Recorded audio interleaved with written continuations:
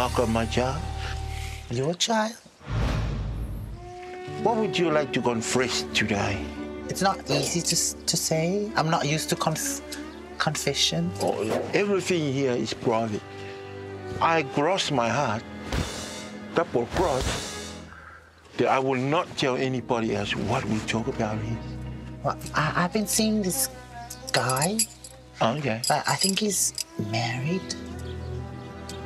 Is that right? Why do you look at me like that, Father? Oh, no, I'm just. You look at me like I'm a sinner or something. Oh, no, no, no. So, what do you know of this, your man's wife? I think he's married to that big, really big, famous island woman on TV. A big island woman. Yeah. Oh, that doesn't really narrow it down. Blonde hair. Oh, yeah, natural blonde. I don't think she's natural blonde. I think she's I think I know. bleached blonde, you know? She bleached everything, including her brain, you know? Is that right? Wow. So she's got a blonde hair. Blonde hair, Yeah. goatee. Oh, she's young. She got gold teeth. No, go, go, goatee. Oh, goatee. Mm, goatee, Yeah. yes. No, not oh, that no. goat. Oh, no. Oh, goatee like this. Yeah, look like Oh. that. Okay, that still doesn't narrow it down. She's huge, She's Oh, humongous. Oh, she's gigantic. She's like Queen Kong. Oh, she's queen Kong, right? Yeah. Yeah, qua ding dong. And, you know, big lips like Cavalli. Is that right? That's why I don't understand why he's still with her. And, you know, when he could be with me, I'm Mm. a normal looking girl.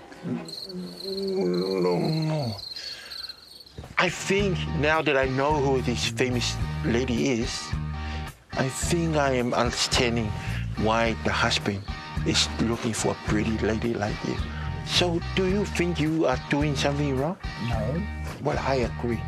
Yeah. I think you are doing him a favor if you can take him. Oh, that's really Yeah. good to hear. So, all you need to do, go get him, and then you run off. Run off where? I don't want to run off. I mean, it's not as if she can run after me. Well, then walk off. Just walk off. See, Cindy, don't you feel better you come here to talk to me about this conference? Yeah, I love it when I come and see you. Yeah, that's good. Yeah, you always take things off my chest. eh? Yeah. Yes. It was great to have Cindy of Samoa here with me today.